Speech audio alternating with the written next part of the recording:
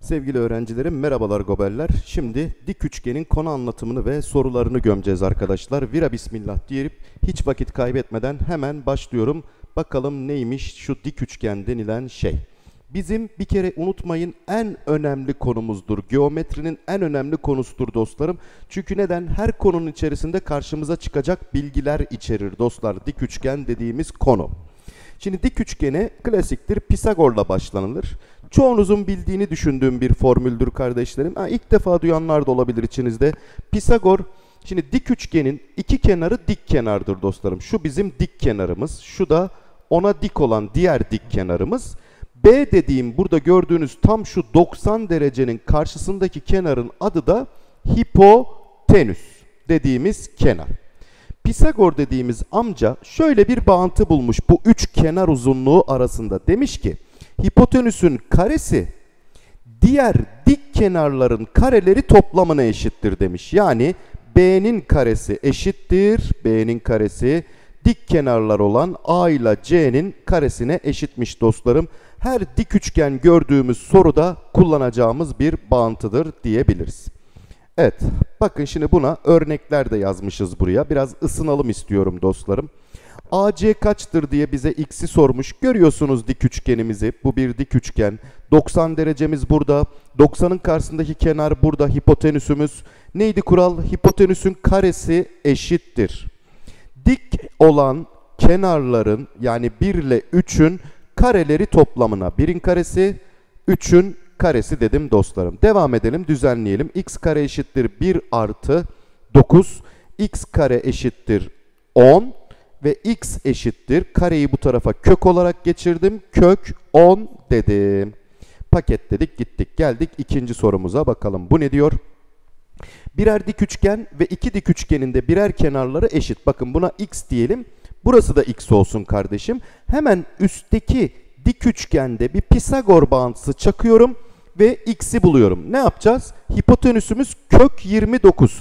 O halde kök 29'un karesi eşittir diyerek başlıyorum. 2'nin karesi artı x'in karesi olacak dostlarım. Şimdi kökle karenin sadeleşeceğini biliyoruz. Geriye bir tek 29 kaldı. 2'nin karesi 4 artı x kare. 4'ü bu tarafa attım. 25 eşittir x kare.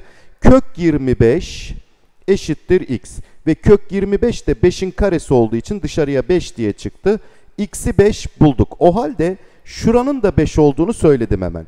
Şimdi gelin şurada Pisagor bağıntımızı yapalım dostlarım.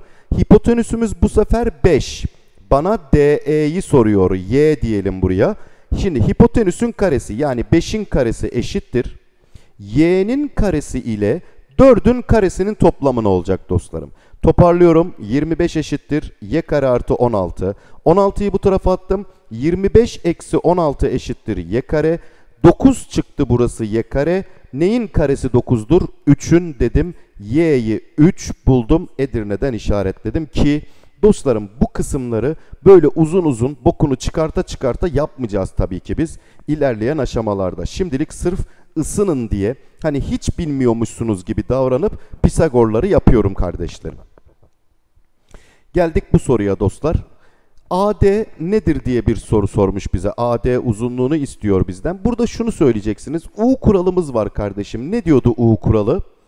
Böyle iki paralel doğru gördüğünüzde şu açıyla şuradaki açının toplamı daima 180 dereceydi arkadaşlarım. A ile B'nin toplamı 180. Peki şimdi burada şuna ben K desem buna da K. M desem buna da M. Şimdi U kuralını yapalım. 2K ile 2M'nin toplamı ne olacak dostum bu durumda? U kuralı gereğince 180. Hadi 2'ye bölelim. K ile M'nin toplamı ne oldu? 90 çıktı. Demek ki şu K ile şu M'nin toplamı 90 ise benim üçgenimin üçüncü açısına ne kaldı? Yine 90 kaldı. Toplamları 180 olsun diye. Ve bakınız dik üçgenimizi bulduk. Şimdi Pisagor'u çakalım. Hipotenüsümüz yani 90'ın karşısındaki kenar x. Karesi eşittir diye başlıyorum. Bir kök 5'in karesini alacağız. Artı bir de kök 6'nın karesini alacağız. Hemen kare ile kökü sadeleştirdim. Burada 5, burada da 6 kaldı. x kare eşittir 11. x eşittir kök 11 çıktı diyebiliriz dostlarım. Evet bir sonraki sorumuzdayız. Yine iki tane dik üçgen görüyorum. Önce şuraya bir A harfi yazalım. Bize sorulan AD'ye de X yazalım arkadaşlarım. Şu alttaki soldaki üçgende bir Pisagor çakıp A'yı bulalım hemen. A kare eşittir. Kök 15'in karesi. Şimdi biraz daha hızlanayım artık arkadaşlarım. Kök 15 dediğimiz karesini alınca kök gidecek 15. Artı 1'in karesi 1. Yani A kare eşittir 16 geldi. A'yı bulmama bu soruda çok gerek yok ama neyin karesi 16? 4'ün deyip A'yı da 4 bulabilirim. Bana karesi de yetiyor zaten kardeşim. Şimdi üstteki üçgende Pisagor bağıntısı yapıyoruz. Hipotenüsümüz x. x'in karesi eşittir. Bir 4'ün karesini bir de 3'ün karesini alacağım. 3'ün karesi artı 4'ün karesidir ki x kare eşittir 9 artı 16 yani x kare eşittir 25 x eşittir 5. Bu bakın burayı 5 bulduk. 3 4 5 üçgenin çok sık çıkacak karşınıza 3 4 5. Biz bunu ileride size ezberleyin diyeceğiz dostlarım. 3'ü 4'ü görünce hipotenüse 5'i yapıştırın diyeceğim birkaç sayfa sonra. Evet 5 numaradayım. İki tane dik üçgen yine görüyorum. Bu sefer iki dik üçgenim yan yana yazılmış. Bakın bu birinci dik üçgen, bu da ikinci dik üçgen arkadaşlarım. İkisinin de birer kenarı ortak. Şuna A diyelim. O halde burası da A olsun diyelim.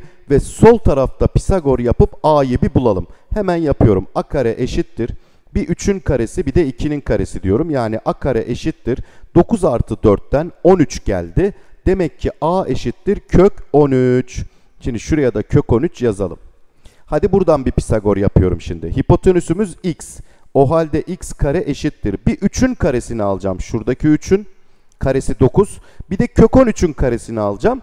A kareyi alacağım yani. A kareyi de zaten 13 diye biliyoruz. Kök 13'ün de karesi 13'tür. Buradan x kare eşittir 13. 9 daha 22. x eşittir kök 22. Bursa'dan paketledim gitti. Altıncı sorumuz bakalım bu ne diyor? B, C, C, D ve D, E bu şekilde hepsi 1, 1, 1, 1 diye gidiyormuş arkadaşlarım. Ee, AB'yi 2 kök 2 vermiş. Şuraya 2 kök 2 yazalım. Şimdi ilk önce şuradaki x'i bir bulalım arkadaşlarım. En baştaki pembe üçgende bir Pisagor yapalım. x kare eşittir. 2 kök 2'nin karesini alacaksınız bir. Şöyle yazayım. Artı bir de 1'in karesini alacağız. Peki devam edelim. 2'nin karesi 4, kök 2'nin karesi 2 idi. 4 kere 2 8 buradan geldi artı 1. Yani x kare eşittir 9. x eşittir kök 9 geldi dostlarım. Kök 9 da 3 demektir. Ben buraya kök 9 yani 3 yazıyorum. Şimdi bir sonrakini bulacağım dostlar. Şuna y diyelim. Bu şekilde ilerleyeceğim. 17.yi soruyor bana. Ama tabii 17 tane Pisagor yapmayacağız. Mutlaka güzel bir ilişki çıkartacağız. Oradan gelecek artık inşallah diyelim. Peki devam edelim. Şimdi şurada Pisagor yapıyorum. Y kare eşittir diyelim. Y kare eşittir. 3'ün karesi 9 artı 1'in karesi 1. Ne geldi buradan? 10 geldi. Yani y eşittir kök 10 çıktı. Bakın bu da kök 10. Hadi bir tane daha yapalım iyice otursun. Buna da z diyelim. Şimdi z'nin de Pisagor'unu yapıyorum. z kare eşittir. Kök 10'un karesi 10. 1'in karesi 1. 11 geldi. z eşittir kök 11 çıktı. Bakın ilişkiyi yakaladıysanız şimdi birinci hipotenüs bize 17. hipotenüsü soruyor ya. Birinci hipotenüs kök 9. Birincisinin bulduk. Birinci hipotenüs kök 9. İkinci hipotenüs kök 10. Üçüncü hipotenüs kök 11. Dördüncü hipotenüs kök 12 gelecek demek ki. Beşincisi kök 13. Altıncısı kök 14. Ve yedincisi kök ee, ne geliyor kardeşim? Kök 15 diye burası bir artarak bir artarak gidiyor kardeş. Sekizinci ne olacak? Kök 16. Dokuzuncu kök 17. Kök 18. Kök 19. Kök 20. Kök 21 kök 22 kök 23 olacak 15.si kök 26 olacak. Kök 17. de kök 27. olacak. Kök 27 de 9 çarpı 3'ten 3 kök 3 gelecek diyeceğim ama bir yerde bir hata mı yaptık? Şöyle bir daha bakalım.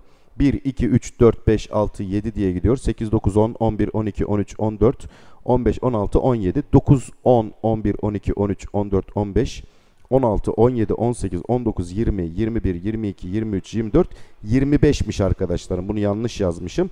Kök 25'miş 17. hipotenüs. O da 5 çıkıyor diyeceğiz dostlarım.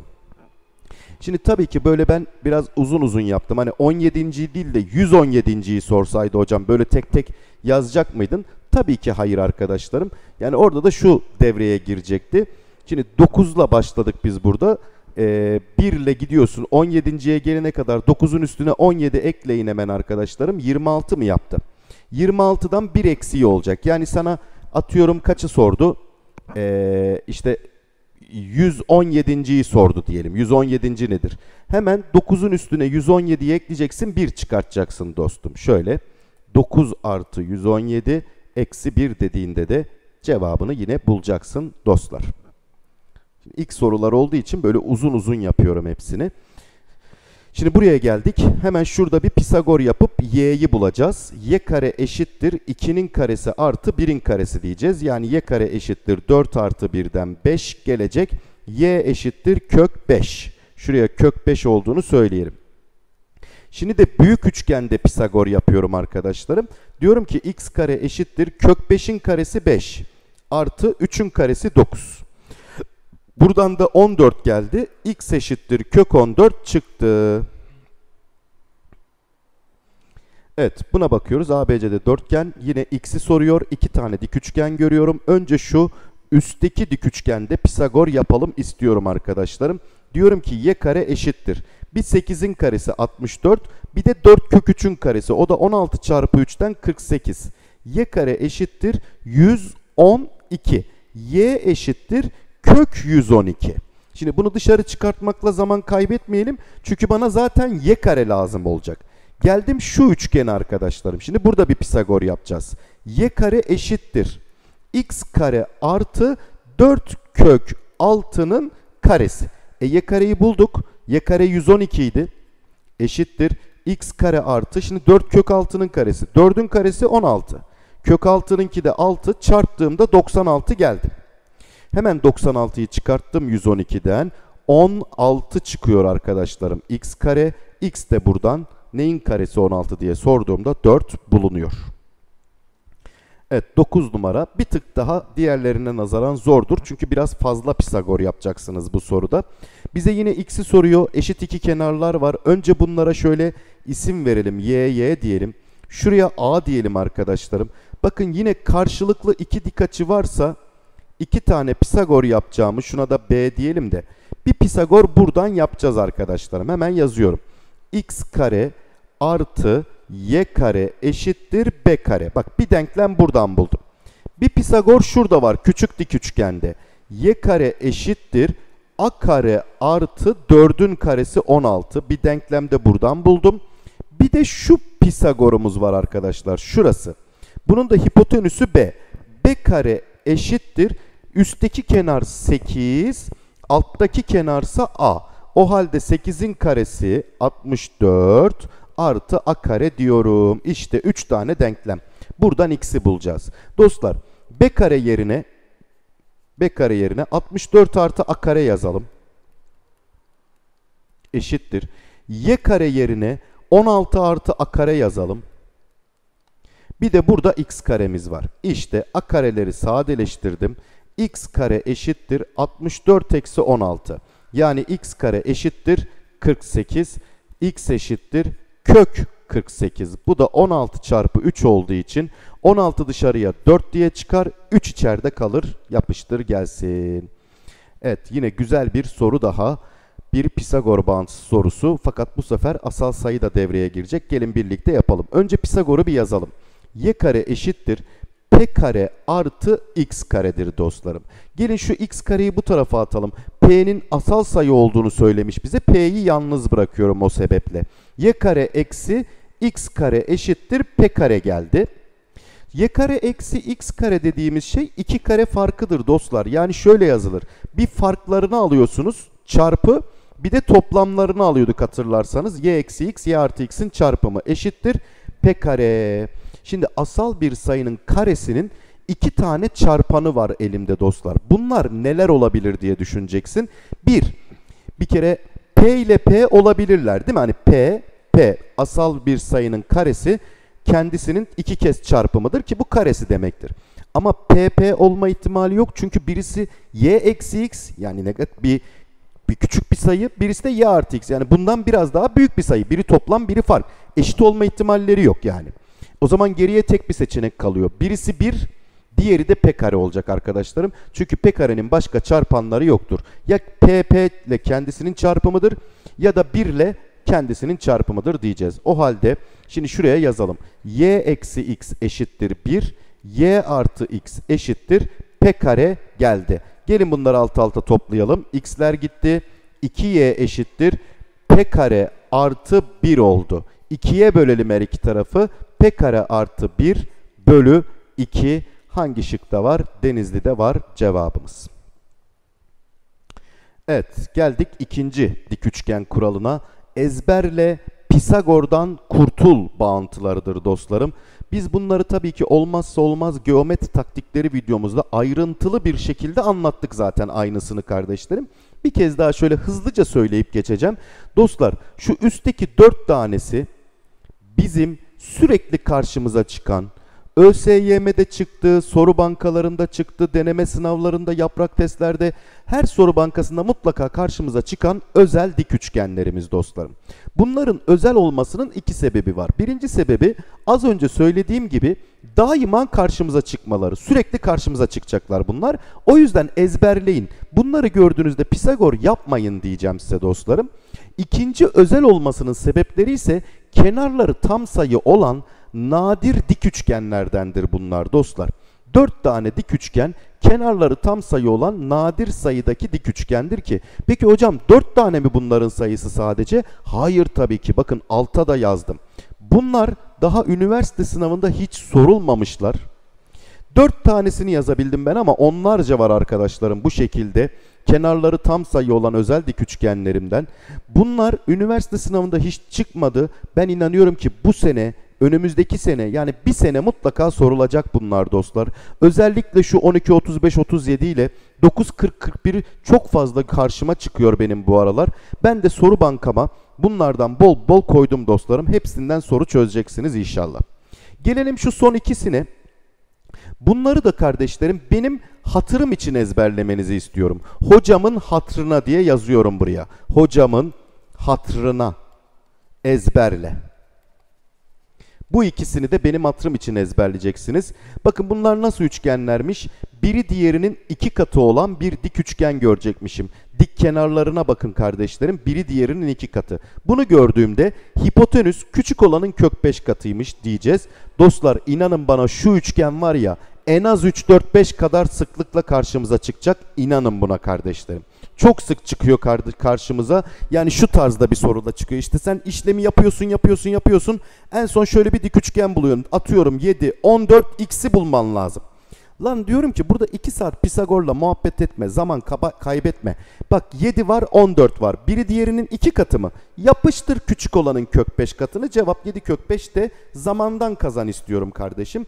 O yüzden bu ikisini de ezberlemenizi istiyorum. Bunun bakın bir de biri diğerinin 3 katıysa ne yapıyormuşuz? Küçük olanın kök 10 katını alacakmışız dostlarım. He, bunun bokunu çıkarabilirim dostlar. Biri diğerinin 4 katı, biri diğerinin 5 katı diye abartabilirim ama en çok bu ikisi özellikle şu karşıma çok çıktığı için bunları ezberlemeniz işinizi kolaylaştırır dostlar. Evet geldik buraya. Bakın ABC bir dik üçgen ve x ile y tam sayı. Hoba kenarları tam sayıymış arkadaşlarım. Hemen bir üst sayfaya çıkıyorum. 11 ve kenarları tam sayı olan bir dik üçgen. Neydi o? 11, 60, 61 üçgeniymiş. O halde y 60'tır, x de 61'dir diyeceğim. AC'nin 61 olduğunu bulacağım. Normalde ne yapacaktım bunu bilmeseydim? Ha işim yine zor değildi arkadaşlarım. Diyecektim ki x kare eşittir y kare artı 11'in karesi. Bu bir. Y kareyi bu tarafa at. Hani az önce P'li, P'li bir soru çözdük ya aynısı x kare eksi y kare eşittir 11'in karesi diyeceğim. Sonra x eksi y 2 kare farkı yapıyorum. x artı y eşittir 11'in karesi diyeceğim. Sonra 11'in karesi 1 ile 11'in karesidir yani 121'dir deyip Buradan x eksi y eşittir 1. x artı y eşittir 121 diyeceğiz. Toplayacağız alt alta y'ler gitti. 2x eşittir 122. x eşittir 61. Demek ki y de 60'tır deyip böyle bulacaktın normalde ve bak uzun oldu değil mi? Ben hızlı yapmama rağmen ezberlersen Pisagor'dan kurtulursun kardeşim. 61'i daha kolay bulursun. Evet bakın burada da iki kare farkından faydalanıp da çözünüz diyor bu soruyu arkadaşlarım. Ama biz yukarıdaki üçgende ezberlediğimiz için 9 40 41 üçgenidir diyeceğiz. Bakın burada şöyle bir çakallık da var arkadaşlar. Üsttekinde göstereyim isterseniz bunu da.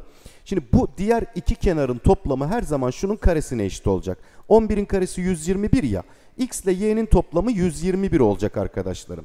Yani şuradan da öyle çıkıyor değil mi zaten görüyorsunuz. Burada da öyle. 9'un karesi 81 ya arkadaşlarım. Ne ile 41'in toplamı 81? 40'ın. Hani unuttuğun yerde üçgeni 9 40 41 mi? 9 30 40 41 mi diye düşündüğün zaman aklına buradan da getirebilirsin 40 olduğunu. Tamam mı kardeşim? Toplamları 9'un karesine eşit olacakmış.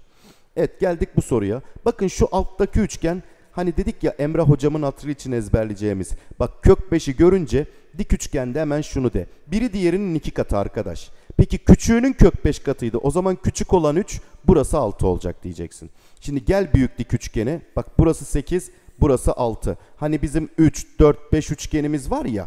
Bunun iki katı 6, 8, 10. Yapıştır onu. Geç git soruyu. Geldik buna. Hadi yine 3, 4, 5 yapalım. 3, 4, 5'in iki katı neydi? 6, 8, 10. 3 katı ne olur? 9, 12, 15. 4 katı ne olur? 12, 16, 20. 5 katı ne olur? 15, 20, 25 diye bu gider arkadaşlarım. Ve 3, 4, 5'in birçok katı da karşımıza çıkacak arkadaşlarım. Çok sık çıkacağımız için bir yerden sonra ezberleyeceğiz. Bak en üstte ne var? 9, 12 o zaman 15. Gel büyük üçgene en büyüğüne gel. 12 var 20 var. 12 16 20 üçgenimiz vardı bizim. Demek ki burası 16 şuraya da kaldı 7. Neyi soruyor sana? Çevre BDC 20, 35, 42 mi yaptı kardeşim? Paketledik gitti. Geldik 5 numaraya. Hadi gel karşılıklı iki dik açı görünce ne yapmayı öğrendik ilk sorularda? Hemen ortak hipotenüsü çizdik. Bak şimdi şu üçgene. 3, 4, 5 üçgeninin kök 2 katı demiş mi biz arkadaşlarım? O halde 3, 4, 5'in kök 2 katı olduğu için buraya 5 kök 2 hemen yapıştırdım. İşte ezberlemenin avantajı bu. Yoksa 2 saat Pisagor'la uğraşacaktın. Geldik şimdi üstteki üçgene. Bize BC'yi soruyor değil mi? X diyelim. 5 kök 2'nin karesi. Şimdi burada seve seve yapacaksın tabii Pisagor'u. Özel üçgen yok. X kare artı 1'in karesi. 5 kök 2'nin karesi 25 çarpı 2'den 50. Biri bu tarafa attım. 49 eşittir x kare kaldı. 7 eşittir x çıktı dostlarım. Geçtim bunu da. Evet yeni nesil bir soru koymuşum burada araya. Yeni nesillerde de görmenizi istedim arkadaşlarım. Bakınız yine bir 90 bir 90 da burada var. Hiç soruyu okumuyorum. Bak karşılıklı 2.90'ı gördüğüm için hemen ortak hipotenüsü çizdim. 7, 24, 25 üçgeni. Ezberleyin bunları kardeşim. Bak hemen buraya yapıştır 25'i. Şu dik üçgene geldim şimdi.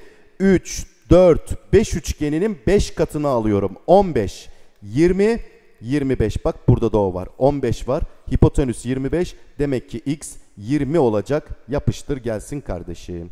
Ezberlediğin takdirde ne kadar kolay çözüyorsun. Ne diyor burada? Buzdolabı uzunluğu 2 metreymiş. Yani şuradaki yükseklik 2 metreymiş kardeşim. Duvarla arasındaki mesafe 1.2 metreymiş. Bunu da söyleyelim. Duvar yere dik.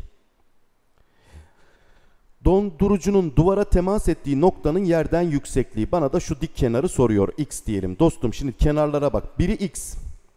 Diğeri 1.2. Öbürü de 2. Bak şimdi hepsini 10 ile çarpıyorum. 10x 12 20. Neydi bu? 12, 16, 20 üçgeni değil mi arkadaşlarım? O halde 10x 16. Hemen 10'a bölüyorum. x eşittir 16 bölü 10. Yani Ceyhan 1.6 paketledi gitti. Geldik buna meşhur merdiven sorusu dostlarım. Çok sık çıkacak karşınıza. Hangi soru bankasını çözerseniz çözün karşınıza çıkacak bir soru. Merdiven sorusu. 2,5 metre uzunluğundaki merdiven. Bakın bu merdiven 2,5 metre uzunluğundaymış. Şimdi ben bunu burada göstereyim. Şöyle yandan bakılınca şu bizim merdivenimiz olsun ve 2,5 metre uzunluğunda. Merdivenin yere değdiği noktanın şu duvara, burası duvar dediğimiz yer olsun. Duvara uzaklığı 2.4. Bak yakala.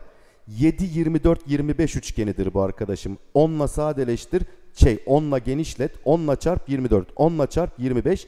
Demek ki 7 olacak burası ama 10'a bölünmüş hali. 0.7. Peki diyor ki merdivenin ayağını duvarın dibine 0.9 metre daha yaklaştırdığında şimdi şöyle olursa diyor. Duvar burada. Hani merdivenin ayağı burası. Duvara 2.4 ya. 0.9 daha yaklaştır. Hemen çıkart 0.9'u. Şöyle oluyor değil mi? Merdiven 2.5 boyu değişmiyor. 0.9 yaklaştırdığında 1.5 kalıyor buraya kardeşim. Bak bu da ne oldu? 15, 20, 25 üçgeninin 10'a bölünmüş hali. Bu sefer de 2 oldu burası. Ne kadar yükseldi diye soruyor. 0.7 idi 2'ye çıktı. 1.3 metre daha da yükseldi arkadaşlar. Yine bir merdiven sorusu. Bak hemen şurayı gör. 20, 15, 20, 25 değil mi arkadaşım? Merdivenin uzunluğu 25'miş. Şurası 25 yani. Demek ki A noktasının yerden yüksekliği 20. Dik üçgenden bunu bulduk. Diyor ki merdivenin ucu ok yönünde 9 metre kaydırılır ise. Şimdi sen bu merdiveni duvarı şuraya bir daha çizeyim ben. Şöyle bir duvar var burada. Merdivenin ucunu kaç metre? 9 metre geriye kaydırdığında şöyle yere yüksekliği burası olsun. 9 metre geriye kaydırırsam 15'e 9 ekledim 24 oldu. Peki merdivenin boyu değişmedi. Bak 7 24 25 üçgeni çıktı. Yerden yüksekliği bu sefer 7 oldu. Yerden yüksekliği kaç olur diye soruyor. 7 oluru yapıştırdım hemen. Evet geldik Öklit bağıntısına arkadaşlarım. Öklit amcamız bizim için toplamda 7 adet bağıntı bulmuştur. Fakat biz bunun 7'sini birden bilmeyeceğiz dostlarım. Bu bağıntılardan ben üçünü sadece söyleyeceğim size. Üçünü kullanıyoruz genelde soruların içerisinde. Bunların içerisindeki en önemli bağıntı da birincisi olacak dostlarım. Bir numarayı kesin bileceksiniz. Kesin ezberleyin bunu. Ha, numarayı iyi olur ezberlersen.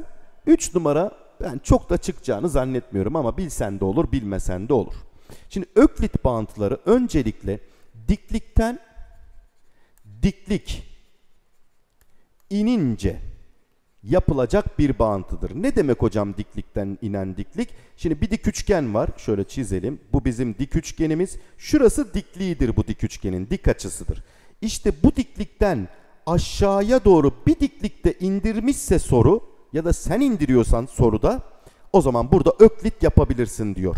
Peki öklitte Dostlarım görüyorsunuz bir sürü harfimiz var. Yüksekliğe H demişim, dik kenarlara B, C. Hipotenüs yükseklik sayesinde iki parçaya ayrıldı. Birine B, birine K demişim. Tamamına da A dedim hipotenüsün.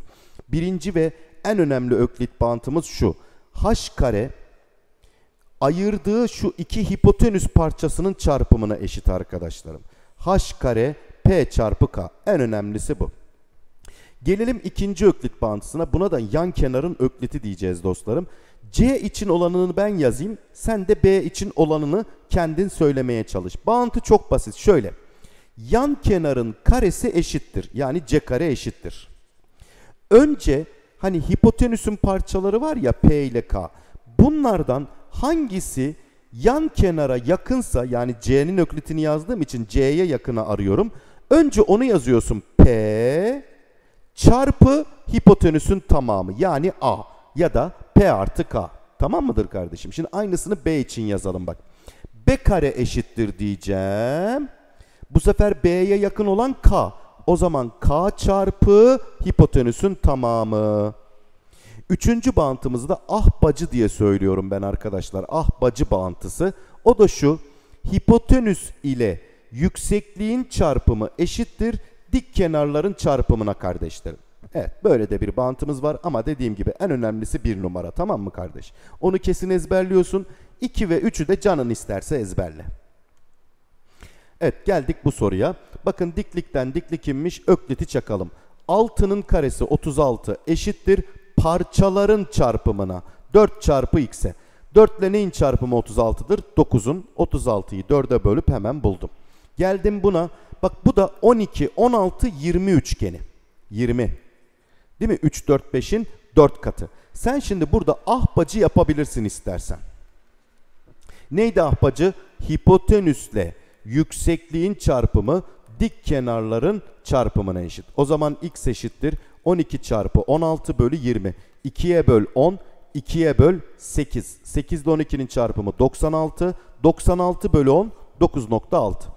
He, ahbacıyı unuttun diyelim. Ne bok yiyeceğiz hocam? Dostum o zaman birinci öklit ve ikinci ökliti kullanarak da sen bu soruyu çözebiliyorsun. Yani şöyle. Önce 12'nin karesi 144 eşittir. Şuraya x dersem x çarpı tamamı 20. 2'ye böl 10, 2'ye böl 72, 10'a böl 7.2. Burası 7.2 ise burası 12.8 olacak diyorsun. Sonra x kare eşittir. Ee, 7.2 ile şunun çarpımı diyorsun. X'i buradan bulabiliyorsun. Ya da şurada bir Pisagor çakıp X'i buradan bulabiliyorsun. Ya da şuradan bir Pisagor çakıp X'i buradan bulabiliyorsun. Ama görüyorsun ki rasyonel sayılarla uğraşıyorum. İnşallah virgüllü sayılar çıkmaz da sen de rahat bir şekilde yapabilirsin tabii ki. Geldik buna. Hemen önce 3 kök 5'in öklitini yapıyorum. Yan kenarın ökliti. Neydi kural? 3 kök 5'in karesi eşittir. Önce kendisine yakın olan parça y çarpı hipotenüsün tamamı. Yani y artı 12 idi kardeşim kural. 3 kök 5'in karesi 9 çarpı 5'ten 45 gelir. y çarpı y artı 12. Bir şeyle 12 fazlasının çarpımı 3 ile 15'tir arkadaşlarım bunlar. y'yi 3 buldum. Şimdi gelin x'i bulalım. Birinci ökliti yapacağım. x kare eşittir h kare p çarpı k ökliti. 3 çarpı 12'ye yani 3 çarpı 12 36'dır. x eşittir 6 geldi. Geldik buna. cd x diyelim. ab y diyelim. x bölü y'yi istiyor. Bakın şu alttaki dik üçgende şurada diklikten diklik inmiş. Hemen ökliti çakıyorum. Bana x lazım. x'in öklitini çakıyorum. x kare eşittir. Yakın olan parça 3 çarpı hipotenüsün tamamı db. Şimdi hemen altına üstteki dik üçgende y'nin öklitini yazıyorum. y kare eşittir. Yakın olan 4 çarpı yine hipotenüsün tamamı db. Hadi gelin bunları bölelim birbirine. Bakın x kare bölü y kare çıktı. x bölü y'nin her iki tarafın kare, kare kökünü alalım. x bölü y eşittir. Kök içinde 3 bölü 4 yani kök 3 bölü 4 dışarıya 2 diye çıktı kardeşim. Ceyhan'dan geldi. Geldik buna. Şimdi ne diyor burada? BD DC'ye eşitmiş. Şimdi şuraya A, şuraya B dediğimde BD uzunluğu da A artı B'ye eşitmiş. Bizden EC'yi istiyor. Gelin şuradaki dik üçgende bir öklit çakalım. Dikliğinden diklik inmiş. X kare eşittir. Yakın olan parça B. Hipotenüsünün tamamı B artı A. B çarpı B artı A. Peki büyük dik üçgende öklit yapalım. 4'ün karesi 16 eşittir. Yakın olan parça B çarpı hipotenüsün tamamı 2B artı 2A yani B artı A parantezinde 2. Şimdi bunları birbirine bölersek B çarpı B artı A'lar gitti. Buradan 2x kare eşittir 16. x kare eşittir 8. x eşittir kök 8. O da 2 kök 2 diye dışarıya çıktı kardeşim. Evet geldik muhteşem üçlüye. Yine olmazsa olmaz geometri taktikleri videosunda ve üçgende açıda zaten sık sık vurguladık muhteşem üçlüyü. Dik üçgene ait bir kuraldır. Dolayısıyla dik üçgende de anlatılır. Kenar ortaya ait bir kuraldır. Dolayısıyla kenar ortayda da anlatılır. E, üçgende açı sorularında işimize yarar. Dolayısıyla üçgende açıda bile karşımıza çıkar. Orada da anlatılır. Her yerde muhteşem üçlü kullanılabilir arkadaşlarım. Neydi muhteşem üçlü? Bir dik üçgenin dik açısından inen kenar ortayın iki görevi vardı. Birinci görev tüm kenar ortaylarla aynı. Kenarı ikiye bölmek. İkinci görevi kenar ortayın hipotenüsün yarısına eşit olmaktı muhteşem üçlüde. Biz muhteşem üçlüyü bazen şöyle göreceğiz demiştik. Yarısı çizilmiş göreceğiz. Yani şöyle dik açıdan inen bir doğru hipotenüsün bir parçasına eşit göreceksin. Hemen kendinde diğer parçasına eşittir'i yazacaksın demiştik. Muhteşem üçlünün taktiği şuydu. Soruda 90 derece ile 1'e 2 oranı bir arada verilmişse aklınıza muhteşem üçlü getirin demiştik. Evet. Şimdi hemen bakınız burada muhteşem üçlü şu üçünün birbirine eşit olması muhteşem üçlü var demektir ki demek ki muhteşem üçlü nerede oluyordu sadece dik açıdan inen kenar ortaydı. O yüzden burası kesin 90 derecedir dedim. Şuraya 5, EC'ye de 16 yazın diyor. Bir de şunları 10 vermiş. 10, 10 demiş bunlara. Dostum bak şu dik üçgeni artık. 16, 20. Neydi bu? Bir şey 16, 20. 12, 16, 20. Yani 5'e böl, şey 4'e böl 5. 4'e böl 4. Demek ki 3, 4, 5'in 4 katı. 12, 16, 20'dir. Burası 12. Şimdi gel şu üçgene. Ana üçgenimizdir bu bizim. 5, 12, 13 üçgenidir dostum. Cevap Denizli'den çıktı. Bakın üçgenleri ezberlemenin faydası burada işte o bahsettiğimiz 4 üçgeni ezberleyin dediğimiz kısım. Dostum yine bakın şu üçünün eşit olmasını sadece dik açıdan inen kenar ortay sağladığından buraya 90'ı yazdım. Şimdi BC'yi soruyor x diyelim o zaman Pisagor yapıyorum. x kare eşittir bir 3'ün karesi bir de 2'nin karesi. Demek ki x kare eşittir 13 x eşittir kök 13 yapıştır gelsin. Üçüncü sorumuz kardeşler. Bakınız dik açıdan bir doğru inmiş haşa ve hipotenüsün bir parçasına eşit. O zaman ne dedik? Diğer parçaya da eşit olacak. Şimdi şurada bir ikizkenar üçgen çıktı. Hemen tabanına diklik indiriyorum. Kayı kuralı yapıyorum. Bu diklik tabanı ikiye bölecek. 16 ya 8 8 bölecek. Şurası 8, burası 4. Bak şurayı da x, burayı soruyor bize. Diklikten diklik indi. Hadi öklit çakalım. x kare eşittir. Önce yakın olan 4, sonra hipotenüsün tamamı 12 48. x eşittir kök 48. O da 16 çarpı 3'ten 4 kök 3. Evet, şimdi geldik bir başka başlığımıza. Özel dik üçgenlerimiz arkadaşlarım. Fakat videoda ben yoruldum birazcık. Burada bir durduralım. Daha sonra devam ederiz arkadaşlarım. Haydi öpüyorum hepinizi. Görüşmek üzere. Kendinize iyi bakın. Gobeller.